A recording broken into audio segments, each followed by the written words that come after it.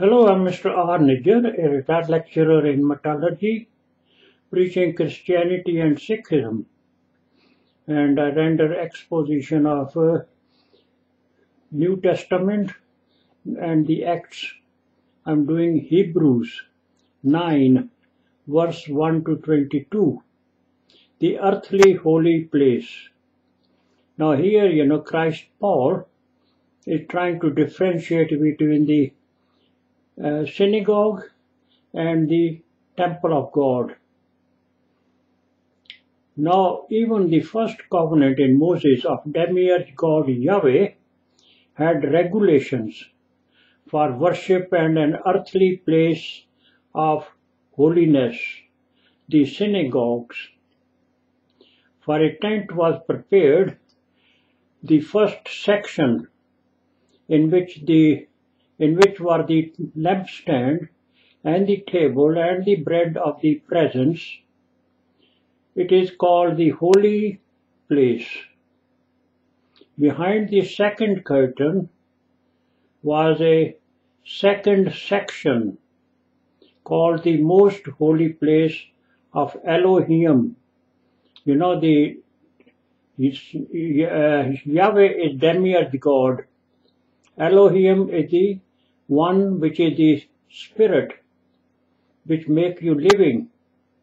This is uh, Yahweh. Inside which make you living is Elohim. Having the golden altar of incense and the ark of the covenant covered on all sides with gold, in which was a golden urn holding the manna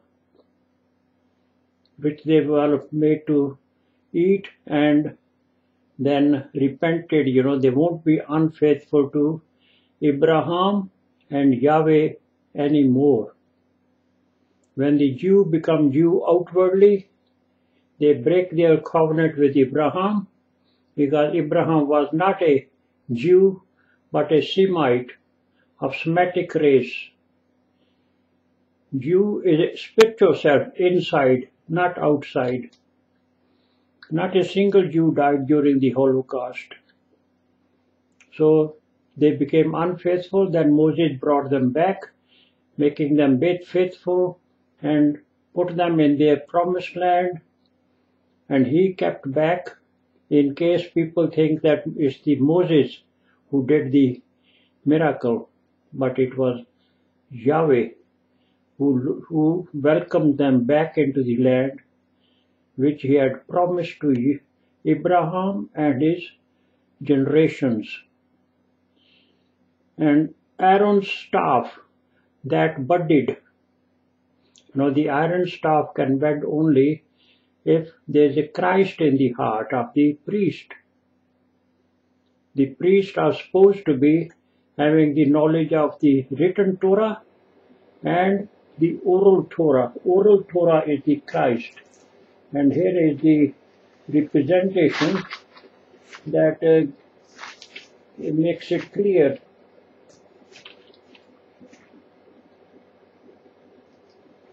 So, this is the priest of Moses, Moses priest, Aaron. And this is God, you know. So, moon this light from God, sun, goes to the moon and reflected down. So far you get this light, if your heart is clean, you get this one. If you are hypocrite, this is cut off. This one is a, this is no more anymore. So you won't get any light anywhere. So when it's cut off, then you get no light reaching moon, no reflection. That we call dark age. This is the dark age. And when the priest became hypocrite, the light was cut off.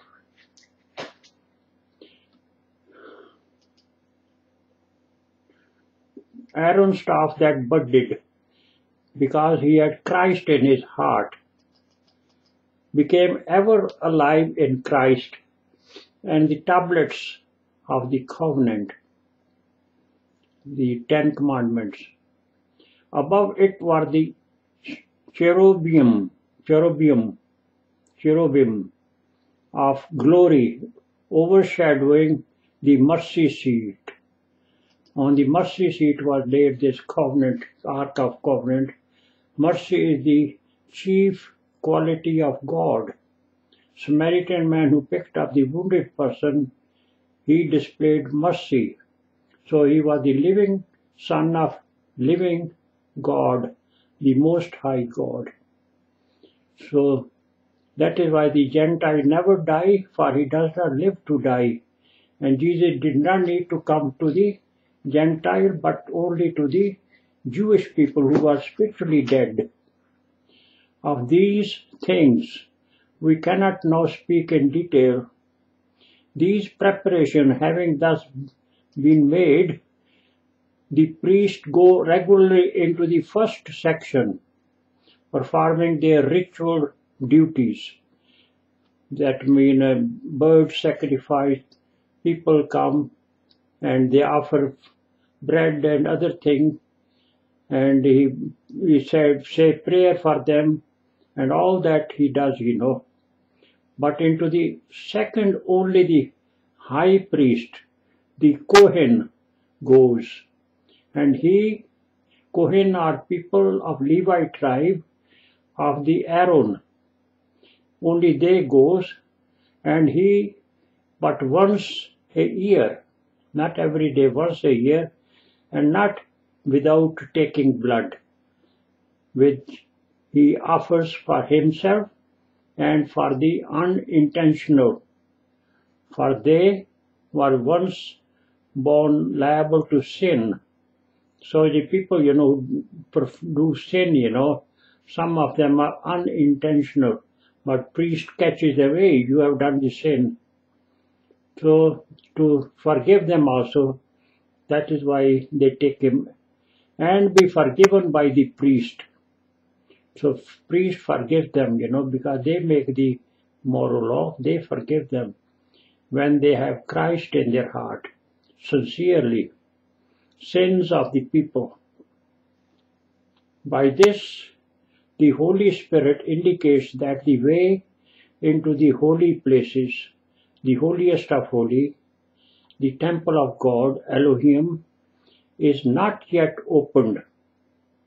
And when they are efficient, you know, these uh, temple priests, that curtain is closed. So that is why Christ Jesus came to open that one, because the people of the front, outer covenant had become corrupt and people were crying, you know, of their hypocrisy. What the hell they are? They were fleecing people. St. James the Just used to beg to them to return their money. It's not yet opened as long as the first section is working, you know, it's, they the rabbis are good.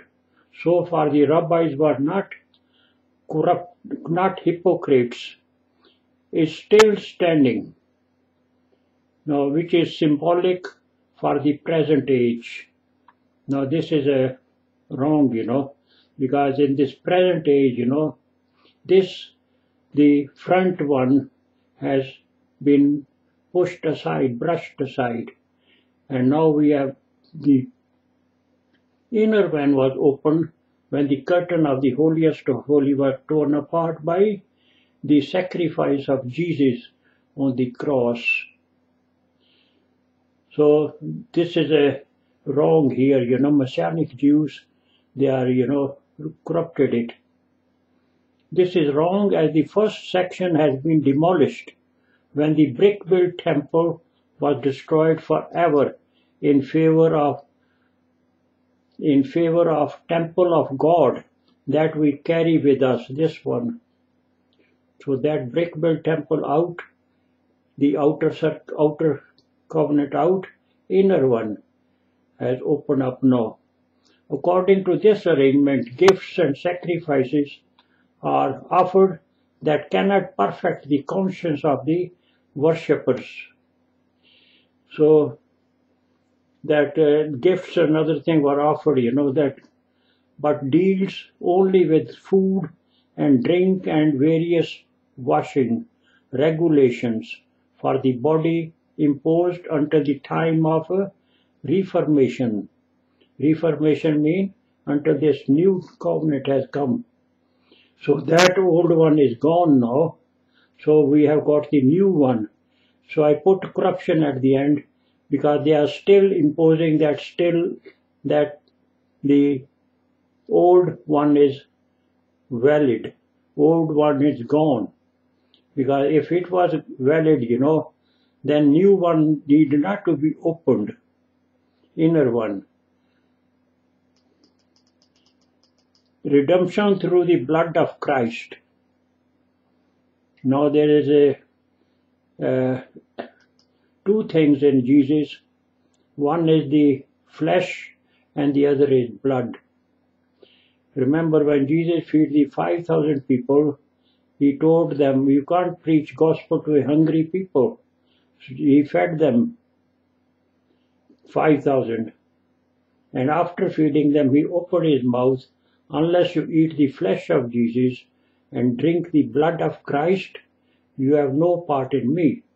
Eating the flesh of Jesus means in the beginning was the Word, Word can't live among us. We need flesh. And that flesh was Jesus. So what came out of the mouth of Jesus, unless we hear with our ears and take it to our heart to digest it, and after digesting it, pondering over it, we bring it from our own mouth that Christ Jesus said so and so. This is called drinking the blood of Christ. So eating the flesh of Jesus and drinking the blood of Christ. Unless you drink the blood of Christ, no salvation. This is when you drink the blood of Christ, you are putting light on lampstand we are not putting it under the bushel anymore. So I have shown that one in the Trinity and uh, will show you again. So I will leave it here and I will do the rest in the next video.